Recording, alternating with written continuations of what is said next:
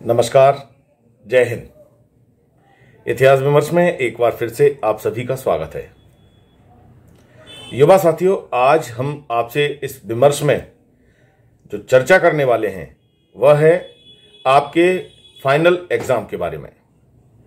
बहुत से बच्चे फाइनल एग्ज़ाम के संदर्भ में चर्चा करते हैं, पूछते रहते हैं कि हमें तैयारी कैसे करना चाहिए, कैसे याद करना चाहिए, कितने समय तक पढ़ना चाहिए ये कई तरह के प्रश्न सभी बच्चों के ध्यान में हैं। उसका कारण है, पिछले दो वर्ष कोरोना पीरियड में बीते हैं और ये दो वर्ष लगभग पढ़ाई से हम दूर रहे हैं। हम जब स्कूल, कॉलेज जाते थे तो कुछ ना कुछ हम लगातार करते रहते थे। कोचिंग्स वगैरह भी बंद हैं, स्कूल, कॉलेज भी बंद रहे इस दौरान। तो हमारी वो एक जो प्रैक्टिस है, वो कहीं ना कहीं बाधित हुई है। आज हम इसी संदर्भ में चर्चा करेंगे, क्योंकि आपने देखा है, मध्य प्रदेश हायर एजुकेशन की ओर से ऐसा आदेश आ चुका है कि अब जो भी एग्ज़ाम होंगे, वे सारे एग्ज़ाम ऑफलाइन मोड में ही होंगे। यानी आपको कॉलेज सेंटर में जाकर परीक्षाएँ देनी है। अभी पिछले महीने जो एग्ज़ाम कंप्लीट हुए हैं, जो पीजी क्लासेस के थर्ड सेमेस्टर के हुए हैं। हमने देखा है, विभिन्न महाविद्यालयों में शांति के साथ ये एग्ज़ाम संपन्न हुए हैं। कई यूनिवर्सिटी में अन्य कक्षाओं के भी एग्ज़ाम हो चुके हैं। अब ग्रेजुएशन की तीनों क्लास और पीजी की फ़र्स्ट सेमेस्टर क्लास, इनके एग्ज़ाम होने हैं। हम देख रहे हैं, महाविद्यालयों में लगातार रौनक बढ़ रही है। छात्रों का भी काफ़ी आना जाना हो रहा है। अब क्लासेस लगभग सस्पेंड हैं, क्योंकि अब परीक्षाओं के मोड में है सारा माहौल। जो इस बार फ़र्स्ट ईयर में बच्चे आए हैं, उनके लिए विश्वविद्यालय की परीक्षाओं में बैठना पहला अनुभव होगा। और जो सेकेंड ईयर फाइनल के विद्यार्थी हैं, उन्होंने फाइनल के विद्यार्थियों ने एक बार ऑफलाइन परीक्षा में बैठकर एग्ज़ाम दिया है। सेकेंड ईयर वालों के लिए भी ये पहला अनुभव होगा। ऑफलाइन परीक्षाओं का। तो सबसे पहले हम जब परीक्षाओं में जाएँ तो हमारी पूरी तैयारी होना चाहिए। अप्रैल माह तक लगभग सभी कक्षाओं के एग्ज़ाम प्रारंभ हो जाएँगे। जो पीजी क्लासेस हैं, वो इसी मार्च माह में कंप्लीट हो जाएँगी। तो ऐसे में हमारी तैयारी अपडेट होना चाहिए। समय बहुत कम है और सिलेबस पूरा है। अगर हम सिलेबस की दृष्टि से देखा जाए तो उसमें कहीं कोई कटोतरा होने वाला नहीं है। कि साहब क्लास नहीं लगे हैं या कोरोना काल रहा है तो कहीं सिलेबस कम हो।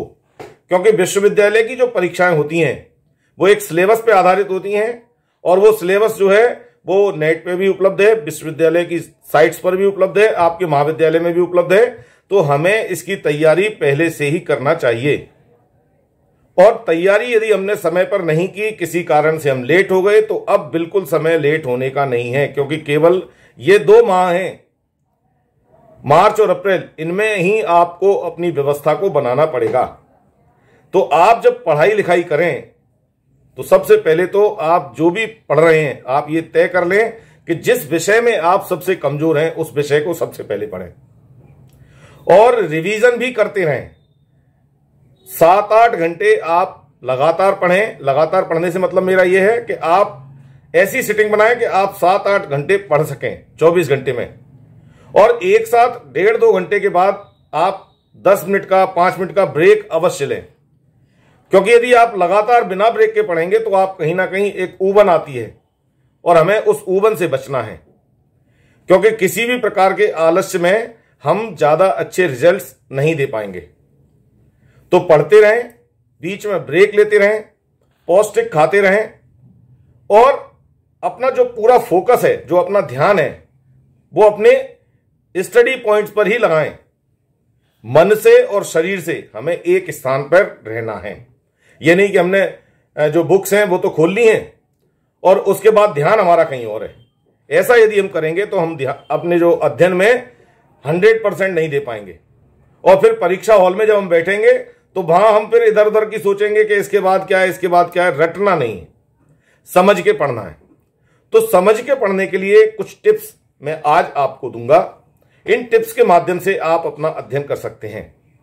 खासतौर पर जो इतिहास के विद्यार्थी हैं, क्योंकि मैं भी इतिहास का विद्यार्थी हूँ तो इतिहास के विद्यार्थियों की एक समस्या है कि समय कम है, बीच में पढ़ाई में नियमितता नहीं रही तो ऐसे में हम जो डेट्स हैं, उनको याद नहीं रख पाते हैं या नहीं रख पा रहे हैं। तो हम आंसर कैसे लिखें?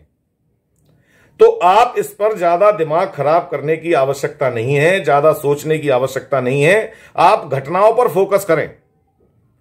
यदि घटनाओं पर आप सही फोकस करते हैं तो डेट्स नहीं भी लिखेंगे तो आपको अंक मिलेंगे, आपको नंबर मिलेंगे।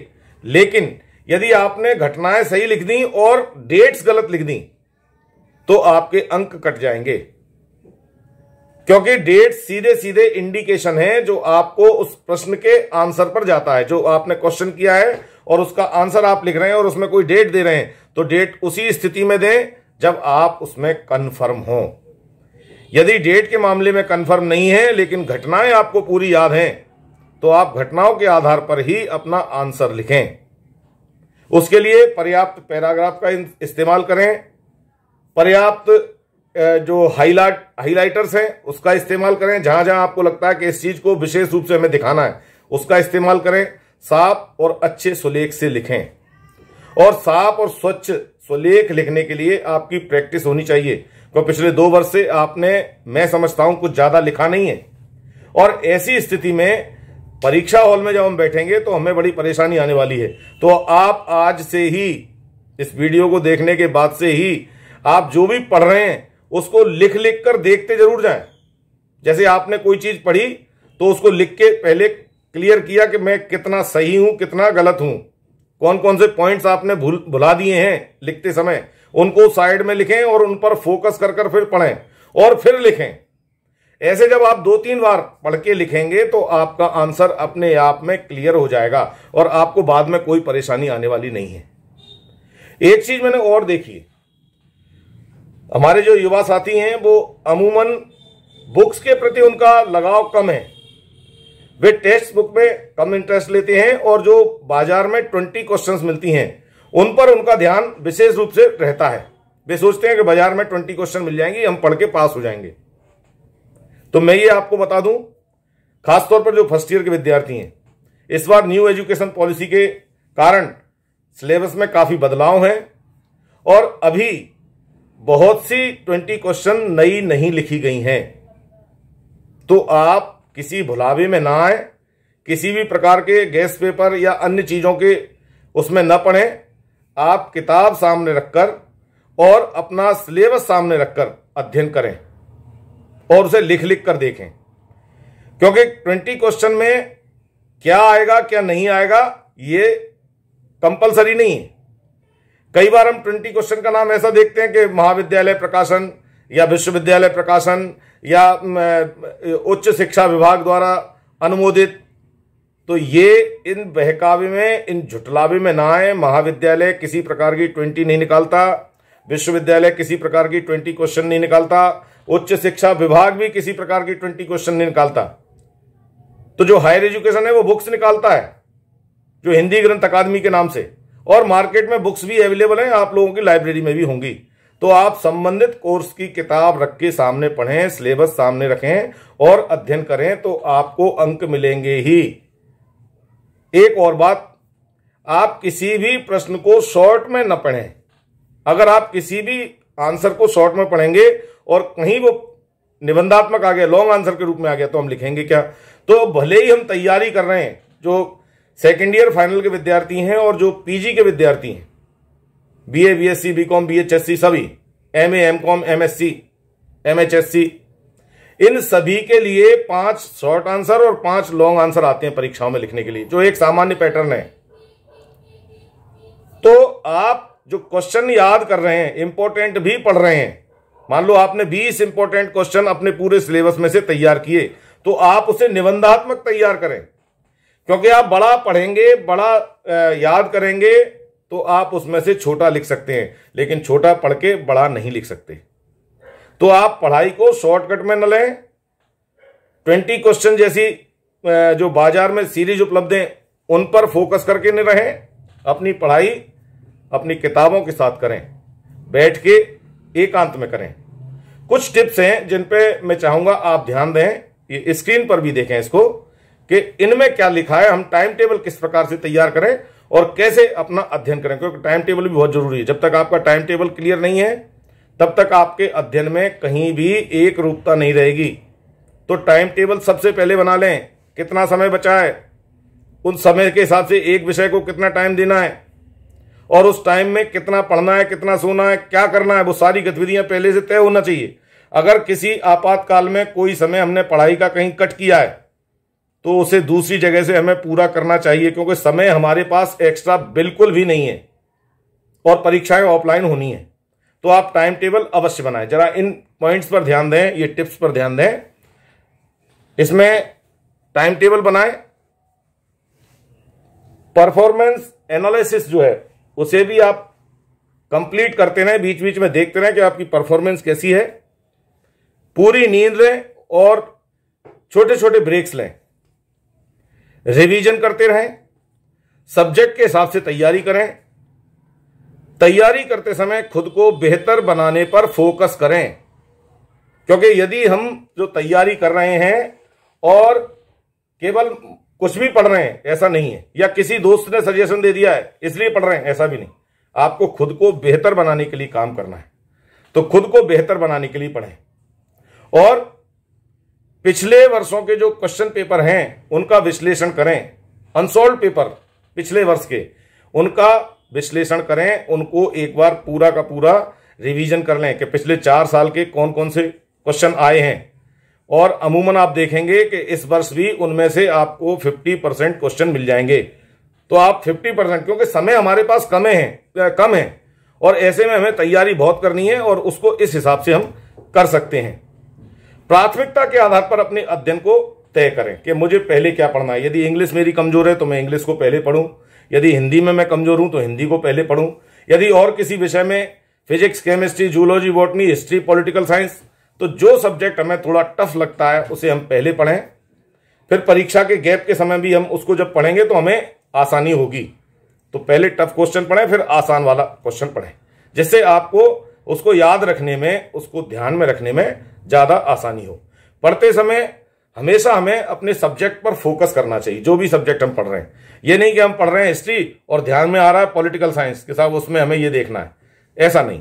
जो पेपर हम पढ़ रहे हैं, जो सब्जेक्ट हम पढ़ रहे हैं, उसको हम हंड्रेड परसेंट फोकस करके पढ़ें, जिससे हमारे वो समझ में आए। रिवीजन करते रहें और बहुत ज़रूरी प्रक्रिया के रूप में इसको अपनाएँ, क्योंकि रिवीजन बहुत ज़रूरी है। एक बार आपने पढ़ा और छोड़ दिया तो आप भूल जाएँगे और आप फिर लिख नहीं पाएँगे उसको। तो बीच बीच में उसका रिवीजन करते रहे। मैंने कल क्या पढ़ा था, परसों क्या पढ़ा था, और ऐसे रिवीजन जब हम करते रहेंगे तो हमें ये ध्यान में रहेगा कि हमने क्या पढ़ा। ज़रूरत के हिसाब से पढ़ाई करें।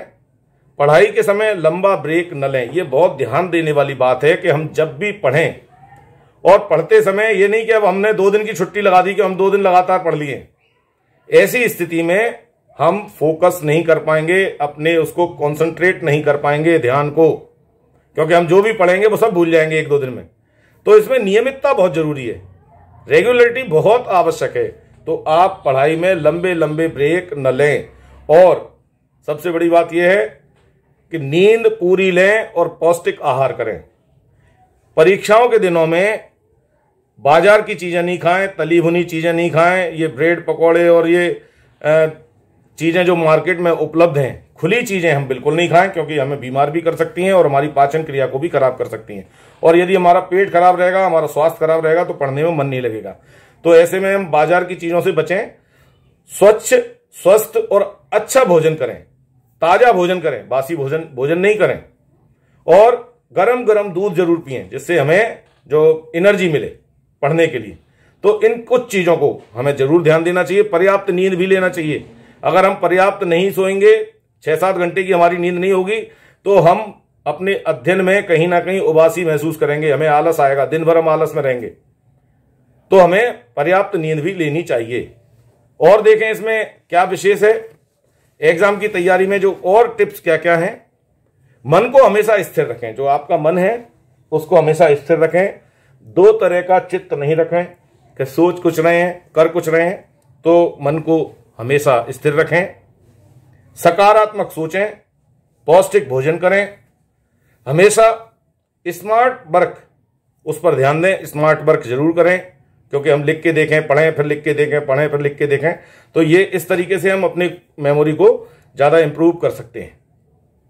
अपने नोट्स स्वयं तैयार करें। ये बहुत महत्वपूर्ण एक पक्ष है इसमें, कि हमें अपने नोट्स स्वयं बनाने हैं। मैंने जो पहले भी कहा था कि हमें बाज़ार के किसी ट्वेंटी क्वेश्चन पे ज़्यादा फोकस नहीं करना है, अपनी किताब से स्वयं नोट्स बनाने हैं और उन नोट्स को पढ़कर ही एग्ज़ाम में जाना है। तो नोट्स भी स्वयं बनाएँ। और स्वयं बनाएँगे तो हमें याद अपने आप होगा। आप देखेंगे, हम जब भी कोई चीज़ लिखते हैं तो हमारे वो आधा तो याद वैसे ही हो जाती है लिख के। क्योंकि हमारा फोकस रहता है उस पर पूरा, जब लिखते समय। ध्यान पूरा वहीं रहता है। तो जब किसी चीज़ पर ध्यान होता है तो हम जल्दी उसको सीखते हैं। तो नोट्स ज़रूर बनाएँ अपने। दूसरों की मदद भी लें समय समय पर दूसरों की मदद लें। क्योंकि हम दूसरों से पूछते रहें, अपने मित्रों से भी पूछते रहें, घर में बड़े अगर कोई हैं तो उनसे भी हम अपनी जो भी जिज्ञासा है जो समस्या है, उनका समाधान करते रहें। उच्चारण पर खास ध्यान दें। कई बार परीक्षाओं में ये आता है क्वेश्चन पेपर में हम पढ़ रहे हैं और हमारे समझ में नहीं आ रहा है तो हमें जो परीक्षक हैं वो ये कहते हैं कि आप इंग्लिश वर्जन को देखें, वो बिल्कुल सही है, उसके आधार पर आप लिखें। उच्चारण में कई बार हमारे में दोष होता है, हम उसका अर्थ का अनर्थ कर देते हैं। तो हमें उच्चारण पर भी विशेष ध्यान देना है कि ये पूछ क्या रहे हैं क्वेश्चन पेपर में पूछ क्या रहे हैं। ये बिल्कुल ध्यान रखना है। मॉडल पेपर्स जो मैंने पहले कहा कि आप पिछले तीन चार साल के पेपर लेके अध्ययन करें, उनको सॉल्व करें, जिससे आपको एग्ज़ाम का पैटर्न भी मालूम चलेगा और आप उसकी तैयारी आसानी से कर पाएँगे। एक चीज़ और ध्यान रखें, आप लेटे लेटे पढ़ाई नहीं करें। कई बार बच्चे हैं कि कमर सीधी करनी है और लेट गए तो उसमें क्या आलस आता है और हम सो जाते हैं और पढ़ नहीं पाते हैं। क्योंकि पढ़ने का काम थोड़ा सा उबाऊ तो है ही। जब हम किताबें पढ़ते हैं तो एक अजीब प्रकार का उबाऊपन हमारे अंदर आता है और अगर हम लेट के पढ़ेंगे तो हम निश्चित रूप से सो जाएँगे। तो आप लेट के पढ़ाई नहीं करें नहीं करें। नियमित योगा व्यायाम ज़रूर करें। नियमित रूप से सुबह उठ के योगा व्यायाम, ध्यान, एका और प्राणायाम, ये ज़रूर करें, क्योंकि इन सारी चीज़ों से हमें एनर्जी मिलती है और हम बेहतर फील करते हैं। खासतौर पर परीक्षाओं के दिनों में जब तनाव रहता है तो हम उस तनाव से बचने के लिए योगा व्यायाम और ध्यान, प्राणायाम ज़रूर करें, जिससे हम स्वस्थ रहें और हमें किसी प्रकार की जो समस्याएँ हैं, वो नहीं नहीं आए। तो इसलिए योगा व्यायाम करें। इसके अलावा देखें, फालतू के जो गैस पेपर मार्केट में मिलते हैं या नोट्स इंटरनेट पर उपलब्ध हैं गैस पेपर के रूप में, उनके झांसे में आने से बचें। ऐसे नोट्स आपका समय नष्ट कर सकते हैं। आपकी सबसे बड़ी ताकत आपकी प्रैक्टिस बनेगा। इसलिए एग्ज़ाम डेट तक लगातार प्रैक्टिस करते रहें।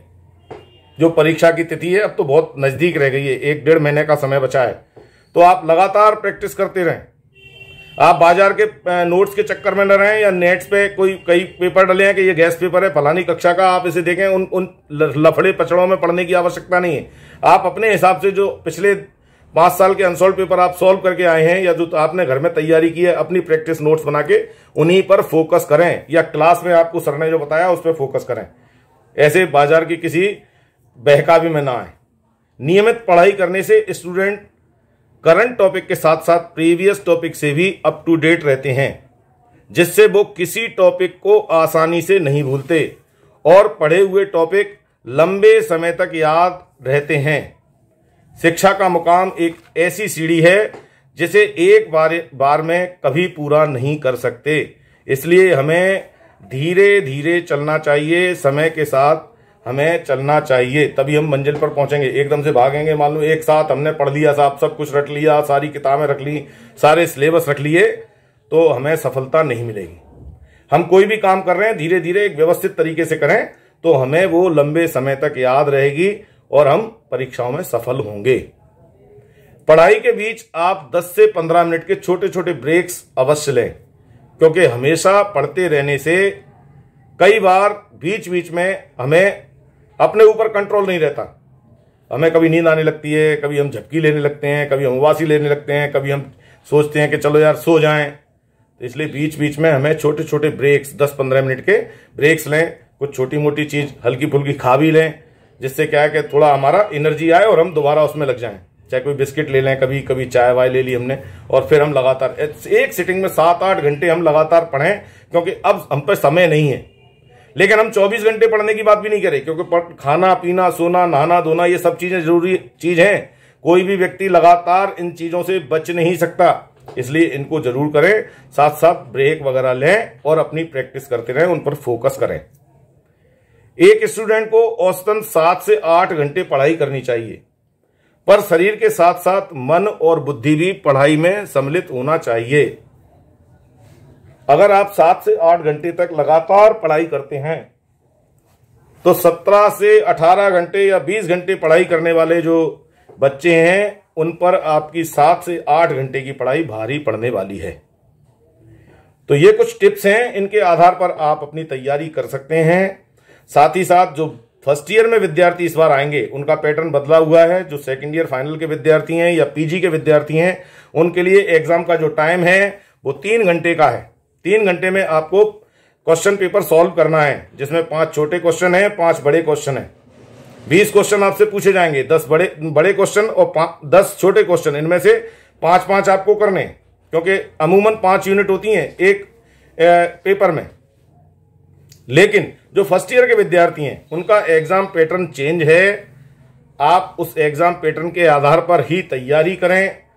जो बच्चे सीसी नहीं दे पाए अभी तक वे सीसी कंप्लीट कर लें, जो नियमित छात्र हैं रेगुलर छात्रों के लिए कह रहा हूँ, उनके लिए सीसी कंप्लीट करना ज़रूरी है। अगर आप सीसी में अनुपस्थित रहते हैं फेल हो जाते हैं तो आपका परीक्षा परिणाम नहीं आएगा। और आपका जो रोल नंबर है, वो भी जनरेट नहीं होगा। क्योंकि जब तक आपने सीसी जमा नहीं किए रोल नंबर जनरेट नहीं होगा।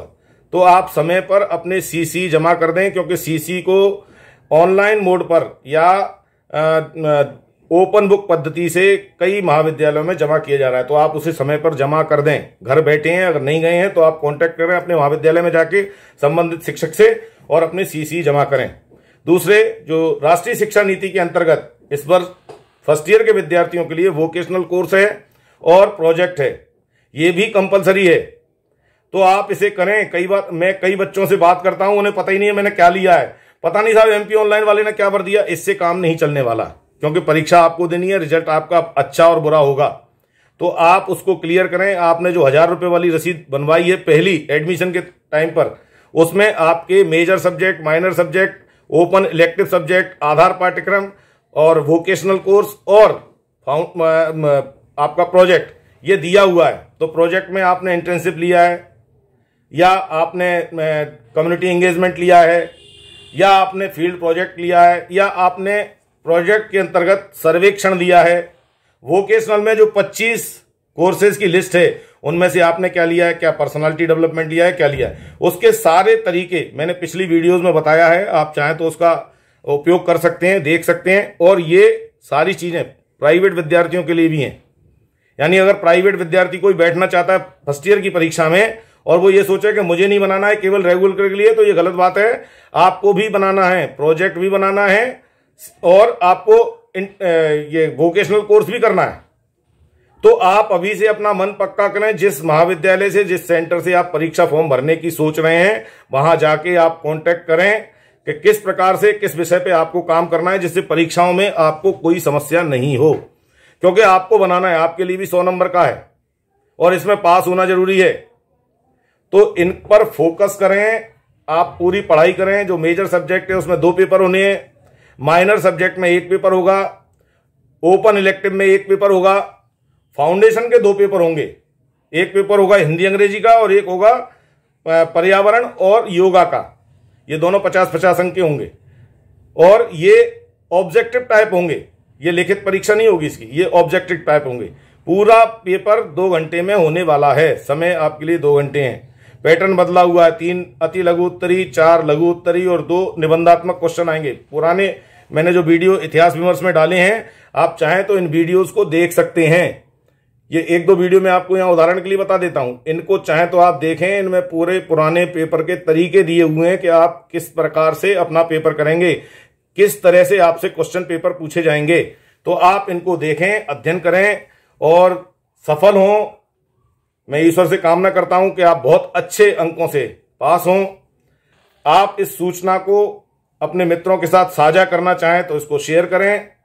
साथ ही साथ जो अभी तक इतिहास विमर्श से जुड़े नहीं हैं, जो भी बच्चे, जो भी युवा साथी इतिहास विमर्श से जुड़े नहीं हैं, मैं परीक्षा से संबंधित, इतिहास से संबंधित न्यू एजुकेशन पॉलिसी से संबंधित और अन्य महत्वपूर्ण विषयों पर जो छात्रों के लिए उपयोगी हैं, उन पर मैं समय समय पर चर्चा करता रहता हूँ। तो आप इतिहास विमर्श को सब्सक्राइब करें साथ ही साथ बेल आइकन पर जाएँ और ऑल के ऑप्शन पर जाएँ, जिससे आपको सारी की सारी सूचनाएँ सबसे पहले मिलें। इसके साथ ही जो विश्वविद्यालय स्तरीय सूचनाएँ हैं या महाविद्यालय स्तरीय सूचनाएँ, जैसे टाइम टेबल है, जैसे परीक्षा फॉर्म भरने की डेट है, वो इतिहास विमर्श के कम्युनिटी पर जाकर आप चेक कर सकते हैं। ये कम्युनिटी आप देखें, इतिहास विमर्श पर जाएँ कम्युनिटी पर, वहाँ आपको इनसे संबंधित सारी सूचनाएँ मिलेंगी। तो आप उसका भी उपयोग कर सकते हैं। आप अपने मित्रों को भी इतिहास विमर्श से जोड़ सकते हैं। आप इतिहास विमर्श विमर्श में अपना इंटरेस्ट बनाए रखें, इसी प्रकार जुड़े रहें और समय समय पर मैं जो आपके लिए उपयोगी नोट्स लाता हूँ, उपयोगी सूचनाएँ लाता हूँ, उनका लाभ उठाते रहें। आपका बहुत बहुत धन्यवाद। जय हिंद।